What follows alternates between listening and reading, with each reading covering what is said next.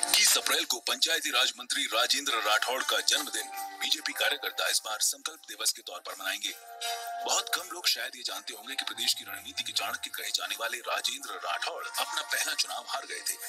हालाँकि चुनाव के बाद राठौड़ राजनीति में कुछ यूँ रमे कि उन्होंने फिर कभी हार का मुँह नहीं देखा।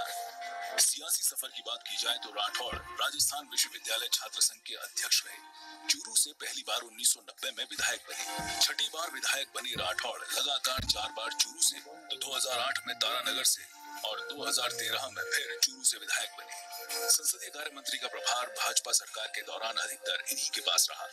दो बार चिकित्सा मंत्री, एक बार सार्वजनिक निर्माण मंत्री और अब पंचायती राज मंत्री की ज़िम्मेदारी है। भाजपा में मुख्यमंत्री चाहे कोई भी रहा हो राठौड़ उनके खास की फेहरिस्त में शामिल रहे। स्वर्गीय भैरव सिंह शेखावत के बाद जब वसुंधरा राजे की ताजपोशी हुई, तब भी सभी विधायकों को साधने से लेकर दिल्ली ले जाने की ज़िम्मेदारी का दायित्व बड़ी बखूबी से निभाया।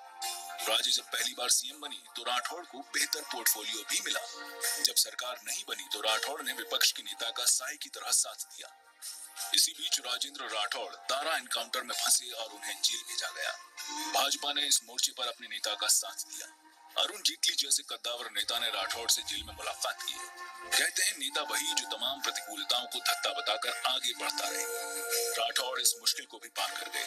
जब वे जेल में थे, तभी से सही मायने में उनके जन्मदिन को उनके समर्थकों ने सार्वजनिक रूप से मनाना शुरू किया।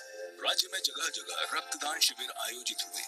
उसके बाद सरकार बनी तो राठौड़ को चिकित्सा मंत्री बनाया गया। हाल ही में उन्हें पंचायती राज की ज़िम्मेदारी दी गई है। राठौड़ ने मीडिया से हमेशा यही कहा कि वो मुख्यमंत्री के सिपाही हैं।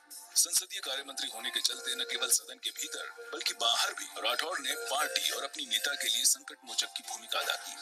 गुर्जर आंदोलन हो या कोई भी परिस्थिति, राजेंद्र राठौड़ हमेशा साथ दिखे। वो एक ऐसे रणनीतिकार नेता के तौर पर उभरे, मानो कि उनके पास हर मुश्किल का समाधान हो। राजनीति के माहिर खिलाड़ी का जनता में भी वैसा ही जादू है। वजह भी है। कहते हैं, वे सुबह से ही लोगों से मिलना शुरू कर देते हैं। कार्यकर्ताओं को नाम से जानते हैं और उनके सही काम के लिए अधिकारियों से बहस करते देखे जा सकते हैं। भाजपा चूरू के जिला अध्यक्ष वासुदेव चावला कहते हैं कि कार्यकर्ताओं के बीच राठौड़ साहब ने कभी प्रोटोकॉल नहीं देखा। बहरहाल 21 अप्रैल को राठौड़ प्रदेश राजनीति में एक साल और परिपक्व हो जाएँगे।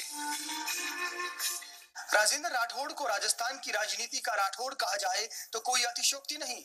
भाजपा चाहे सत्ता में रही हो या विपक्ष में, सत्ता और संगठन दोनों में राजेंद्र राठौड़ ने अपनी अहमियत साबित की है। हालाँकि ऐसा नहीं है कि राठौर का विवादों से नाता नहीं रहा हो, लेकिन हर बार विवादों को धत्ता बताते हुए राजेंद्र राठौड़ एक कुशल रणनीतिकार नेता के तौर पर उभरे हैं।